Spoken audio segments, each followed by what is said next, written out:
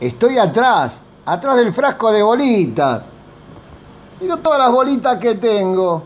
Lecheritas, japonesas, aceritos, mira qué colorido, papá.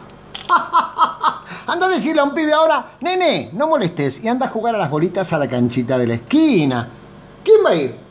Nadie, porque los chicos prefieren la computadora, prefieren la PlayStation, prefieren el celular, prefieren la tablet. Nosotros jugamos con esto en la tierra y estábamos en la calle.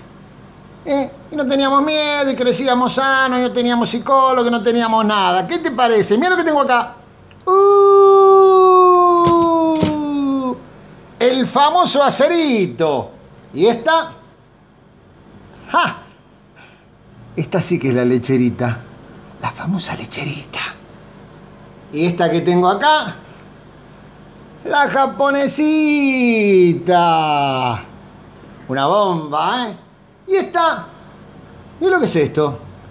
Esta vale por 10, ¿eh? esta te la cambio por 10, ¿eh? Mira qué colorido. Y acá tengo el bolón. Con esta cuando jugamos al triángulo, te rompo el hoyo.